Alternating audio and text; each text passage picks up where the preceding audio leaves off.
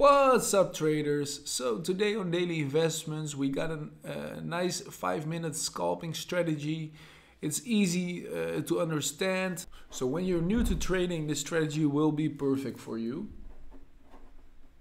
So for this strategy we're gonna use three things. Uh, two EMAs to be exactly and the stochastics oscillator you don't need to really worry if you don't know anything about these indicators. I'm going to help you and guide you through the process. So at the end of the video, you can trade this indicator and strategy on your own. So now let's dive into the crypto strategy. So first off, let's add some indicators. For the first indicator is going to be the stochastics indicator. So we're going to add the stochastics indicator. We're going to use this indicator on the regular settings. So the regular settings for the stochastics indicator, just to check it out for you guys to make sure you have the right settings are 14, 1 and 3. Stochastic oscillator shows the overbought and oversold levels indicated here and indicated here. So the overbought signals and here you can see the oversold signals. So now we're going to add two moving averages to this in the stochastics indicator. So go to the EMA. It's important guys that you take the moving average exponential. So press it twice. Yes, so for the checkup on the left side, you're gonna have two EMAs. What we're gonna do now is we're gonna uh, change the EMA settings to uh, what we need. So this is gonna be a 200 EMA and a 50 EMA. So let's go to settings, inputs. So you change the length to 200 and what I always do, because of the lines are, you can see it here, they're not really that thick and visible. So I always change the style and the visibility of the line. So for the 200 EMA, um, yeah, you can choose your color, of course, what you prefer. But I always use the thick red color.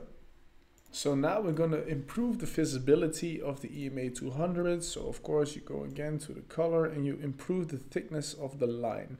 So you take this one and uh, for the EMA 200 now you've got a real thick red line. So uh, yeah it's clearly visible. And so the other EMA that we're going to change is the EMA 5 currently seen here. We're going to change it to the EMA 50 also change the style and the color of this EMA so it's going to be the maximum blue one that I'm going to use. And the thickness of the line is going to be the third one. So something else that's noticeable uh, when you uh, press in the EMA there's uh, an updated version, so look for the method so it's on EMA and not on SMA. If it's on SMA, change to EMA, press OK. So for the checkup, you're going to see 200 close, 0 EMA 5, and below that is the EMA 50 close.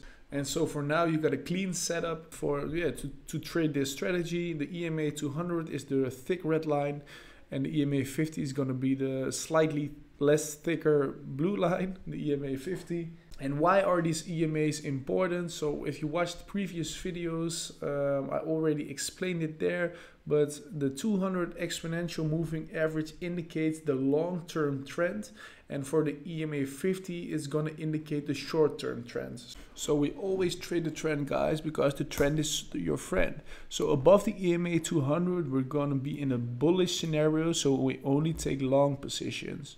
So when we're below the EMA 200, we're going to be in a bearish scenario and this is going to be only short positions. So the trend is your friend. So what's important guys is you want to be on the same side of both the short term, so the blue line and the long term trend before opening a position. Alright guys, now first off let's take a look at the long position. For the long position there are some key factors that are important before you can take a long position. First off, the price must always be above the EMA 200 line. So for example here, uh, when it's below to EMA 200 line, this means that we're in a bearish scenario, so you can take a long position. So first off, always check if the price is above the EMA 200. Second, you can check out if the 50 EMA is also above the EMA 200. This is mandatory because otherwise you can take a long position. So what you do is you enter a long position when the stochastic returns back below the 20%. So for example, when we're looking here, you can take a long position after both lines turn above the 20 stochastic line.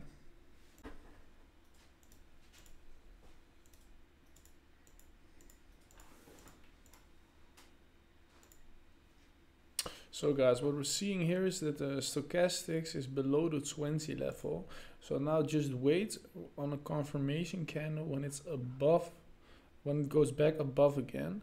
So this is your confirmation candle and this is where you take a long position. Ooh. So let's take a long position. The risk reward that I'm going to use in this uh, strategy is going to be 2. And I'm going to use my stop loss and set it below the wick low. So this is going to be here. And the risk reward is going to be 2. There we go. Now let's just uh, take a look at how this uh, long position plays out.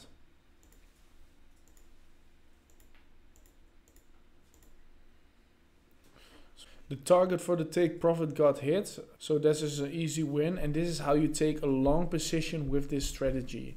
Now let's take a look at the short position.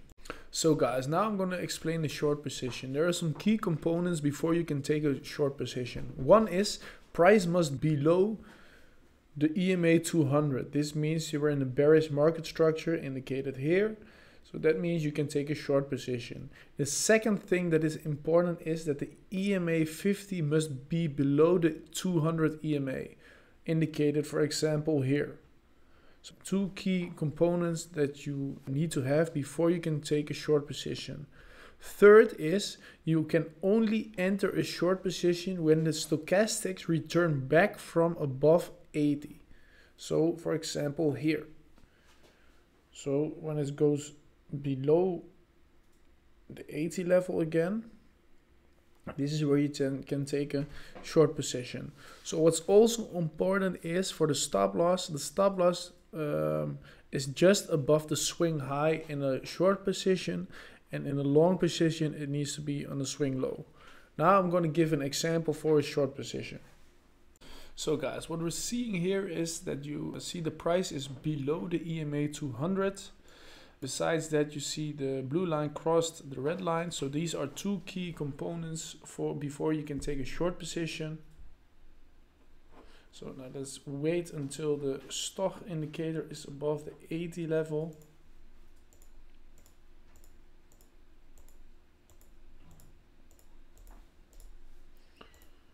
So what we're seeing here that the stock indicator closed above the 80% level. And now you can wait, yes, for example, now you can wait for the confirmation candle that just hit below the 80 level again. This means that you can take a short position. So for example, here, this is the swing. This is the short position. You're going to take the swing high. So this is going to be here, just above the swing high. And our risk reward ratio for this strategy is going to be 2.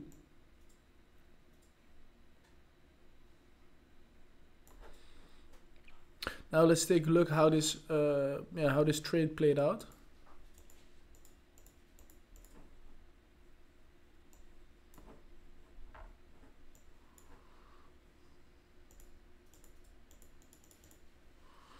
So guys, like we're seeing right here is that this short position also got hit. Um, this is an, in essential. This is how you take a proper short position with this strategy. Um, in the rest of the video, I'm going to backtest uh, this strategy and I'm going to show the results in a minute.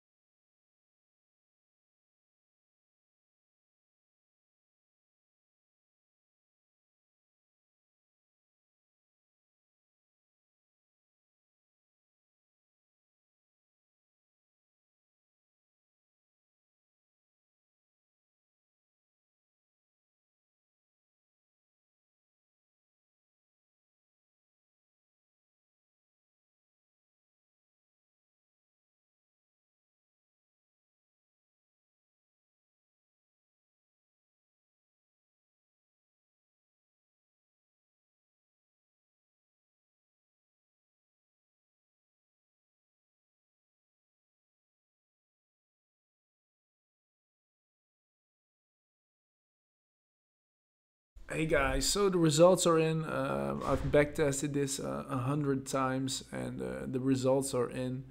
Um, we have a win rate of 55%. The money gained is also a nice amount. It's 4,744 euros. What we always recommend is to use Bybit as the official exchange when you play with leverage. The fees are way lower than, for example, Binance. So uh, the gains that you made on Bybit will be higher because the, the fees are lower. I would really appreciate guys is that if you uh, like the video, maybe subscribe to the YouTube channel and use our affiliate link uh, through Bybit. Thanks and uh, see you again in the next video.